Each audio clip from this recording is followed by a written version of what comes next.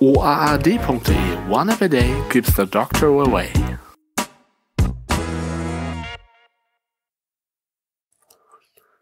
Moin Moin, Servus, Grüße und Hallo und willkommen zur neuen One Every Day Folge. Wer hätte das vor einiger Zeit noch für möglich gehalten?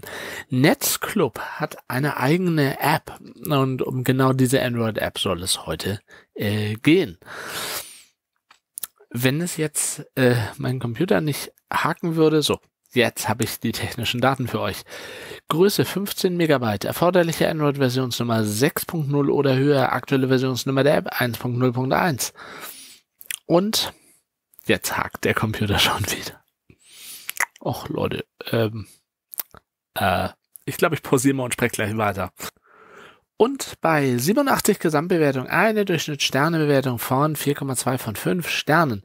Mein Netzclub gibt es jetzt als App. Netzclub wisst ihr, oder wisst ihr auch nicht, ist dieser äh, Tarif, der sehr reizvoll ist, weil gratis gibt es 200 Megabyte. Früher gab es auch nochmal andere Tarife, inzwischen nur noch diesen mit dem gratis Datenvolumen.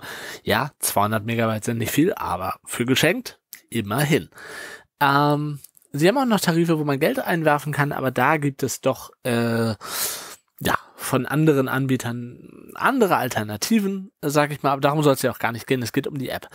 Ihr könnt das Guthabenkonto aufladen per Guthabenkarte, monatlicher Bankeinzug, kostenlose SMS, die du, die man sehr einfach über die App versenden kann, checkt deine Inklusivleistung, man sieht noch die verfügbaren Minuten SMS beziehungsweise Einheiten, beziehungsweise das verfügbare Datenvolumen und das aktuelle Guthaben und man kann auch den Tarif verwalten, also Tarifwechsel, Zusatzpacks dazu buchen oder die persönlichen Kundendaten einsehen.